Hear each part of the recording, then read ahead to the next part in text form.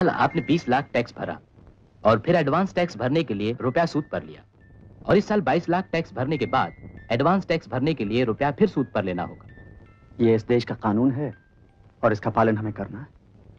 मगर इस हिसाब का कानून गलत है सर। अगर कानून गलत है तो वक्त उसे अपने आप बदल देगा।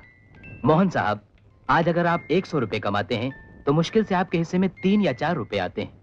बाकी सब तो टैक्स में चला जाता है।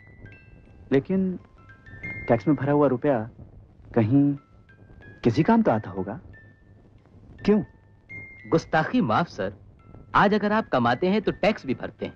भगवान न करे कल अगर आप कमा ना सकें तो क्या यह सरकार आपको खाने को देगी? किसी भले आदमी ने कहा है ये मत सोचो कि देश तुम्हें क्या देता है। सोचो ये कि तुम देश को क्या दे सकते हो। और जब तक हम सब ये नहीं सोचते हमारा कुछ नहीं हो सकता। आप जा सकते